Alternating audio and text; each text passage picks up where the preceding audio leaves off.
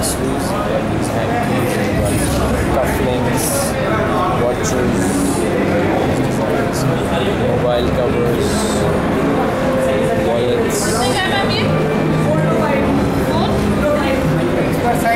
And